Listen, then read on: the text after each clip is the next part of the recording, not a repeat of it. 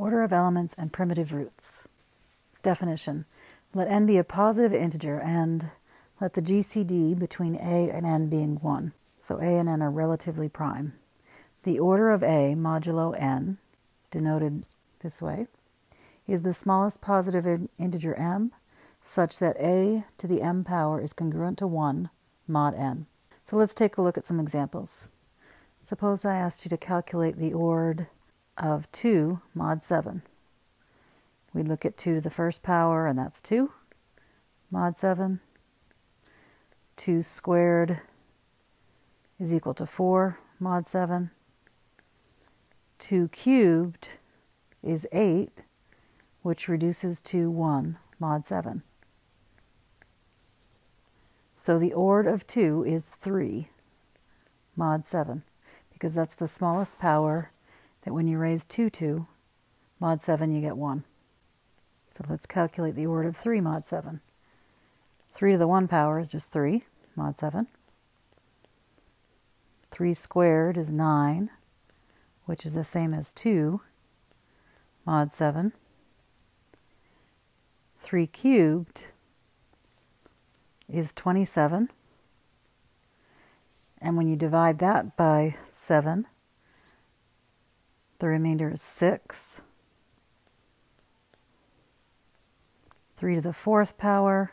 Now, we could write 81 and then reduce that mod 7, or 3 to the fourth is 3 times 3 cubed, and 3 cubed is 6, so I can multiply that 6 by 3 and get 18, which reduces to 4, since 7 goes into 14.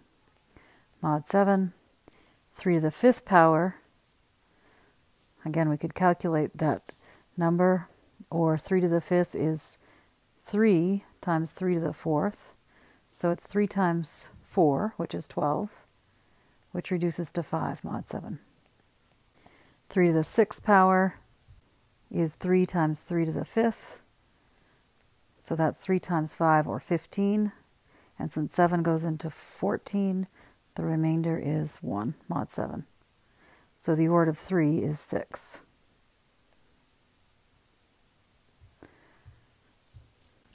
Theorem 8.1. Let n be a positive integer, and let a be an integer such that the greatest common divisor of a and n is 1. So again, they're relatively prime. Then the ord of a is always going to divide phi of n. It's a divisor of phi of n. Okay, so what does that mean? In the previous examples, we were looking at the ord of some values modulo 7. So our n was 7. So phi of 7, since 7 is prime, phi of 7 is just 7 minus 1, or 6. So the ord of values modulo 7 have to be divisors of 6, which would be 1, 2, 3, or 6. So when we were calculating powers in the previous example, we didn't really have to calculate the fourth and fifth power. I'll look at another example. Suppose I ask you to find the ord of 7 modulo 11. The first thing we might do is calculate phi of 11, which again 11 is prime, so that's going to be 11 minus 1 or 10. So the divisors of 10 are 1, 2, 5, and 10. So the ord of 7 has to be either 1, 2, 5, or 10. Well, it's not 1 because 7 to the 1 is 7, mod 11. 7 squared is 49. And since 11 goes into 44, the remainder is 5, mod 11. The next one we need to try is 7 to the 5th. So 7 to the 5th is 16,807. If we divide that by 11, we subtract off the whole number part, multiply back by 11, and we get 10. So 7 to the 5th is congruent to 10 mod 11. And the next power we need to do is 7 to the 10th power. Now remember, 7 to the 10th power is 7 to the 5th times 7 to the 5th. and 7 to the fifth is 10. So 7 to the 10th is congruent to 100, 10 times 10, mod 11. And 7 to the 10th is congruent to 1, mod 11. Since 11 goes into 99, the remainder is 1. So the order of 7 modulo 11 is 10. We know that a to the phi of n is congruent to 1 mod n if a and n are relatively prime. Remember, that was Euler's theorem. So that's a power that works, but the ord is the smallest power that works, and sometimes there's a smaller power. So let's try one more. Suppose I want to calculate the ord of 2 modulo 13. So first I'm going to calculate phi of 13. Again, since 13 is prime, phi of 13 is 12. So the divisors of 12, things that divide evenly into 12, 1, 2, 3, 4, 6, and 12. So the ord of 2 is going to be one of those values. All right, 2 to the 1 power is not 1. 2 squared gives us 4. We're going to stop when we get something that reduces to 1. 2 cubed is 8, mod 13. 2 to the 4th is 16, which is the same as 3, mod 13. 2 to the 6th, so 2 to the 6th is 2 squared times 2 to the 4th. So you can do 4 times 3 or 12, mod 13. That will save you a little bit of time. And notice 12 is the same thing as negative 1 mod 13.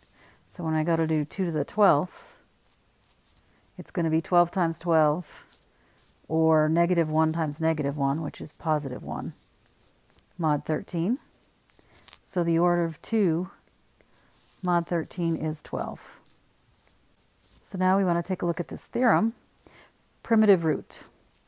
So suppose p is a prime and a is an integer such that p does not divide a.